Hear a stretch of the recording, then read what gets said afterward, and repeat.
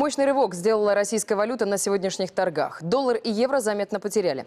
Новый официальный курс Центробанка 67 рублей 45 копеек за единицу американской валюты. Европейская по расчетам на завтра 76,34. Причем падение биржевого курса в последние часы только ускорилось.